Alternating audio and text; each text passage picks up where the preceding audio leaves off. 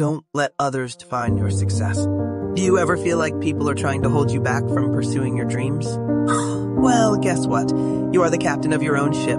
Don't ever let the opinions of others dictate your path to success. When they talk, you go hard. When they doubt you, you shut them up with your results. The best revenge in life is massive success. Believe in yourself and your dreams.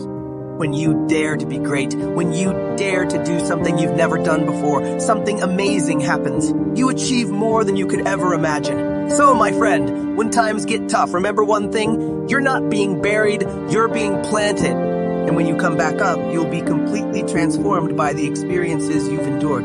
Trust in yourself and your dreams, and watch the magic unfold. Pushing through fear and having faith. Fear and faith are two sides of the same coin. When you have fear, it makes you think and act in ways that hold you back. But when you have faith, oh boy, you become unstoppable. You don't need to know all the details or how much it will take.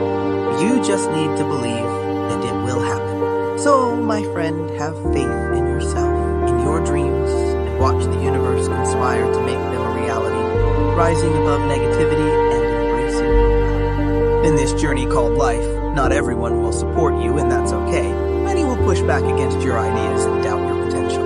But remember, you are the one who dictates how far you can go. You have the power to silence naysayers and prove them wrong.